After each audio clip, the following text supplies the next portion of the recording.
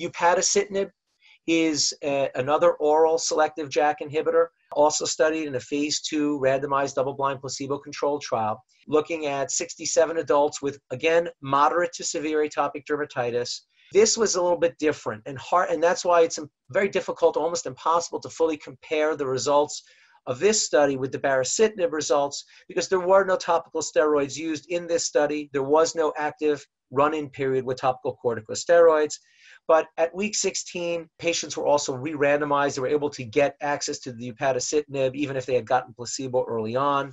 Really quite early as well in terms of the, the efficacy uh, was demonstrated that there are significant improvements of the eczema area and severity uh, index seen actually quite early, but continued out out week 32 as well. A dose-dependent effect where the highest dose of upadacitinib of 30 milligrams uh, was uh, you know, more robust in its efficacy compared to the lower doses, but all doses were more effective than uh, placebo. And this pattern held up for a variety of different endpoints that were examined in terms of uh, EASI 50, EASI 75, EASI 90, improvements of itch, patient reported outcomes, etc. There were some uh, serious adverse events in terms of infection, but this is something that I think in order to understand that more, we're going to need larger scale phase three studies to sort of elucidate that.